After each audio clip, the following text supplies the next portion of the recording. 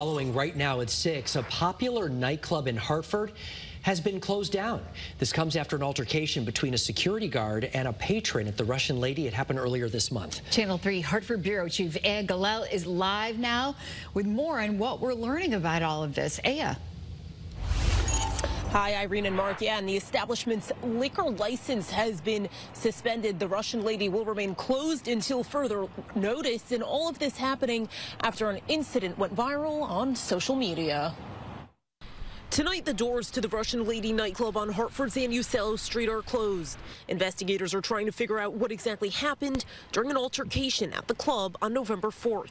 Video of the alleged incident has gone viral on social media, but Eyewitness News has not been able to verify the source of the video, so we will not be showing it. Eyewitness News received a copy of the Hartford police report today.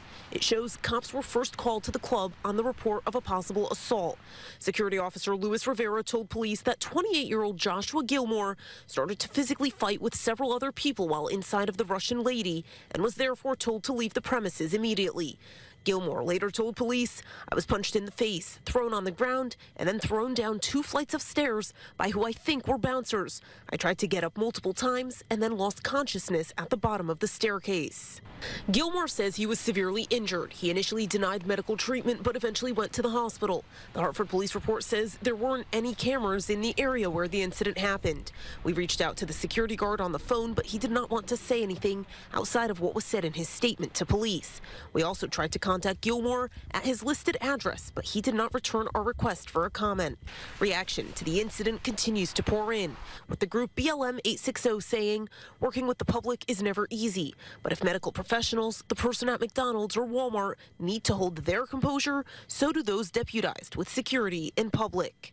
Meanwhile, the Department of Consumer Protection says it has opened an active investigation into the incident to determine what action should be taken. The video is disturbing and not reflective of the behavior expected in our licensed establishments. DCP says the Russian lady is cooperating with the investigation and has agreed to voluntarily suspend their liquor license. And our attempts to reach the owner of the Russian lady were unsuccessful. A sign on the door states that a Thanksgiving Eve party was set to take place at the club tonight. But again, the club is closed until further notice. Live in Hartford tonight, Aya Galal, Channel 3 Eyewitness News.